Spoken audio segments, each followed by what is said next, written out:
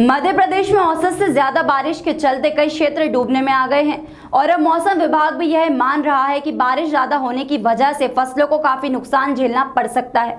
जब हमने कृषि महाविद्यालय के प्रोफेसर संजय शर्मा से बारिश के चलते बातचीत की तो उन्होंने बताया कि मध्य प्रदेश में भारी बारिश के चलते कई फ़सलों को काफ़ी नुकसान देखना पड़ता है और खासकर जो नर्मदा नदी के आसपास के क्षेत्र हैं, वहाँ तो फ़सलें लगभग चौपटी हो गई हैं। और साथ ही सभी किसान पानी को फ़सलों में भरा ना रहने दें, उसे निकासी का रास्ता बनाएँ, ताकि फ़सलें खराब ना हों।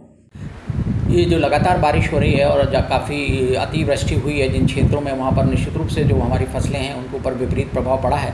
अभी भी कई क्षेत्रों में जो हमारा सोयाबीन की फ़सल है, वहाँ पर जल लग्नता की स्थिति बनी हुई है। तो उस जल लग्नता के कारण भी हमारी फ़सलों को नुकसान हो रहा है। इसलिए हम किसान बंधुओं से कहना चाहूँगा, जहाँ भी जल लग्नता है, वहाँ पर निकासी की व्यवस्था करें।